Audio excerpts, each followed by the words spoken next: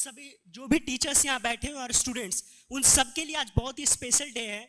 और जैसा कि हम सभी जानते हैं कि गुरु गोविंद दो खड़े, काके लागू पाए, बलिहारी गुरु आपने, जिन गोविंद दियो बताए। हम सभी ने भगवान को तो नहीं देखा है, लेकिन हमारे सामने जो टीचर्स हैं, और इन टीचर्स से पहले,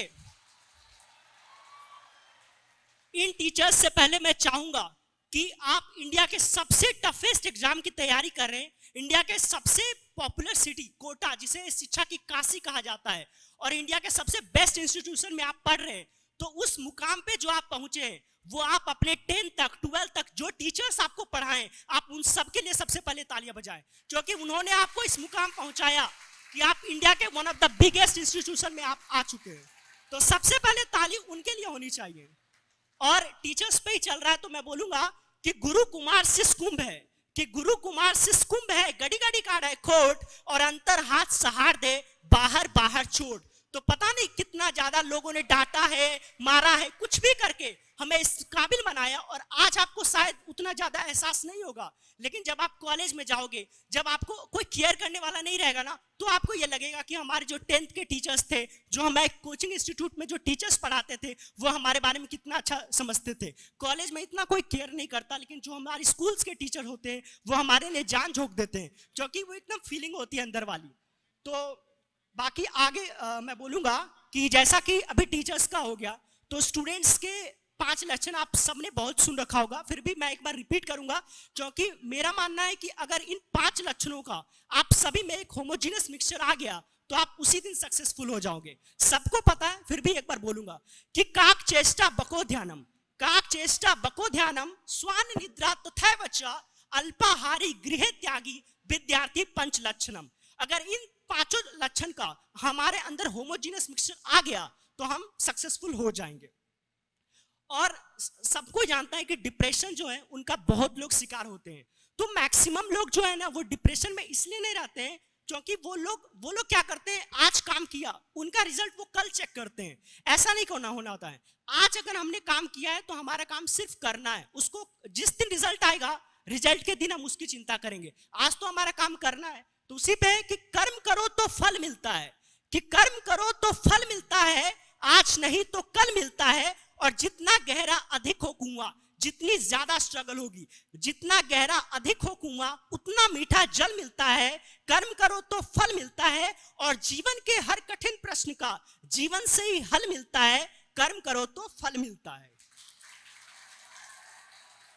और बात जब हो ही रही है तो दो तीन लाइन मैं बोलूँगा, फिर तो अकेडमिक से रिलेटेड जो भी है, वो सर लोग बोलेंगे। मैं थोड़ा बस, थोड़ा सा मोटिवेट कर रहा हूँ। मेरी एक्चुअली तबियत थोड़ी डाउन थी। मुझे सर्दी जुकाम भी हो गया था तो थोड़ी आवाज़ मेरी बैठी हुई है तो उसके लिए सॉरी बट मैं अपना ट्राई कर रहा हूँ कि किसी भी तरीके से मैं अपना बेस्ट दे सकूँ।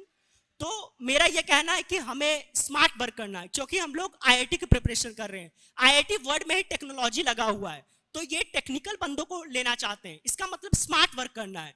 तो हम मेरा ये कहना है कि हमें जो है ना वो मजदूरों की तरह मेहनत नहीं करनी है। वो भी आठ घंटा नौ घंटा बाहर निकल जाओ वो लोग ईटेड हो रहे हैं सब कुछ कर रहा है बट उसको मेहनत आना उतना नहीं मिलता है। लेकिन आईआईटी का बंदा आप सबने सबको पता होगा सॉफ्टवेयर इंजीनियर के बारे में।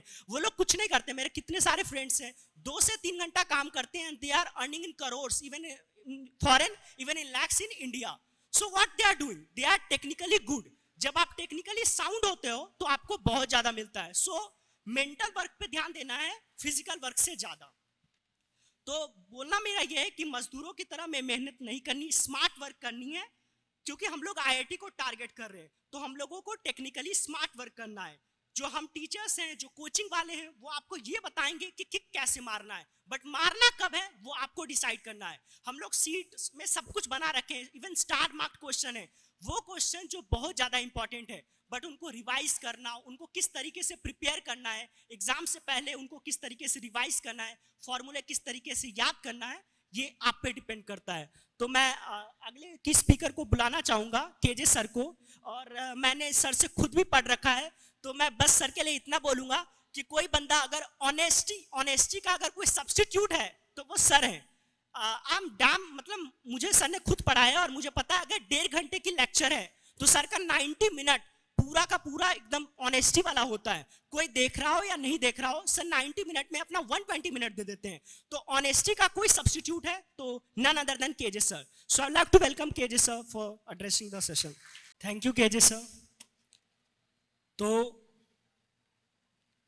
जैसे कि जब हम आईआईटी की प्रिपरेशंस करने के लिए आते हैं तो हम सभी का मतलब बचपन से ही रहता है कि एक्सक्यूजेस हम बनाना स्टार्ट कर देते हैं कि हम होमवर्क इस वजह से नहीं कर पाए, हम क्लास इस वजह से नहीं आ पाए तो उस पर है कि विकल्प बहुत मिलेंगे मार्ग भटकाने के लिए।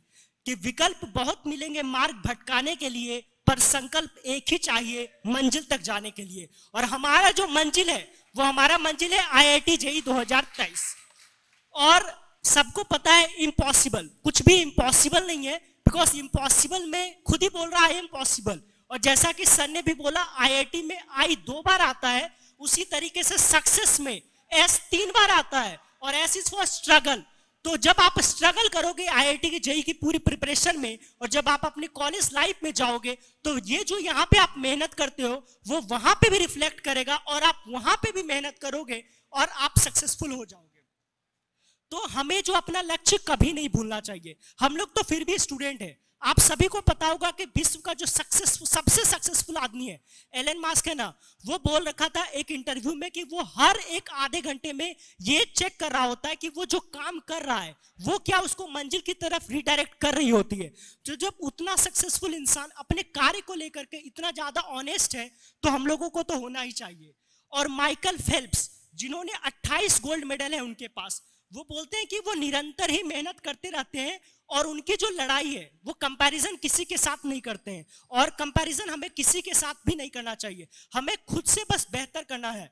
तो उन्होंने बोल रखा है कि वो कभी भी कंपैरिजन किसी से नहीं करते हैं। वो बस खुद से करते हैं कि उन्होंने जो कल जितना भी अचीव करा, उससे ज़्यादा क्या आज अचीव करा। तो हमें भी बस यही देखना है कि कल जितने मैंने क्वेश्चन सॉल्व करे, क्या उससे ज़्यादा आज मैंने करा। अगर हम हर दिन ई e की पावर एक्स की तरफ़ अगर अपना वर्क करेंगे तो एक्सपोनेंशियल ग्राफ हमारा एक्सपोनेंशियल सक्सेस हो जाएगा।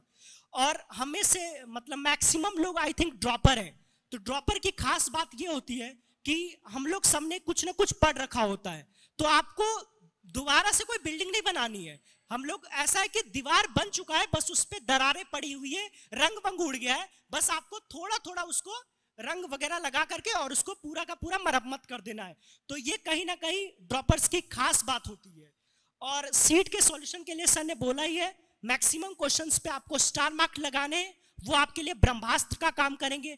जब आज आपको शायद एहसास नहीं होगा, जब जेई में आ जाएगा, जब तीस दिन बचेंगे और आपके पूरे एक एक सब्जेक्ट के तीन से चार कॉपी पूरा भर जाएगी और आपके पास पता ही नहीं चलेगा हमें रिवाइज कैसे करना है। तो उस टाइम पे जो सबसे ज़्यादा इंपॉर्टेंट आएगा, वो स्टार मार्क्ड आएगा। आप फॉर्मूले भी ज़रूर बनाना होता है।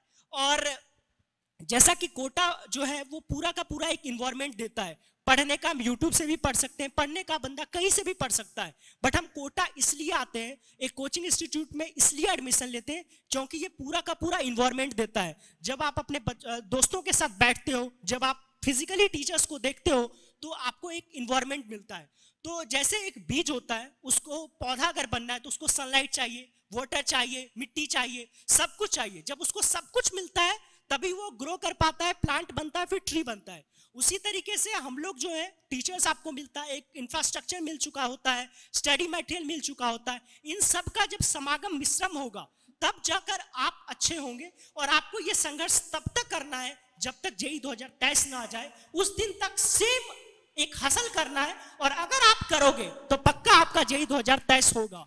अब एकेडमिक से रिलेटेड मैं ज़्यादा बात नहीं करूँगा। मैं नेक्स्ट मेरी तबीयत थोड़ी सी डाउन है तो आवाज़ थोड़ा सा बैठा हुआ लग सकता है।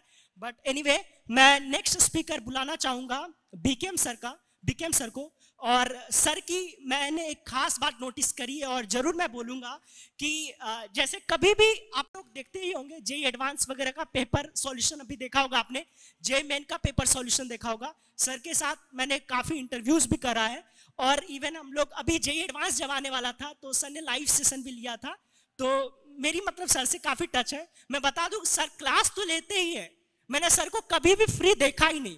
क्लास खत्म होते के साथ, बच्चे का डाउट मैं जब भी सर से मिलता हूँ, सर किसी ना किसी बच्चे के साथ लगे रहते हैं। इवन जब सीट का हम लोग इंटरव्यू लेने वाले थे, सर रात को शूटिंग किए, दस ग्यारह बजे तक शूट किए, उसके बाद इतना ही नहीं। फिर जब लाइव स्ट्रीमिंग हो रही थी तो सर और हम दोनों मिल करके देख रहे थे। तो मतलब आई थिंक हाँ जैसे मैंने केजे सर के लिए बोला ऑनेस्टी का सब्सटीट्यूट केजे सर तो उसी तरीके से हार्ड वर्क का कोई सब्सटीट्यूट है तो none other than BKM sir so I would like to call BKM sir on the stage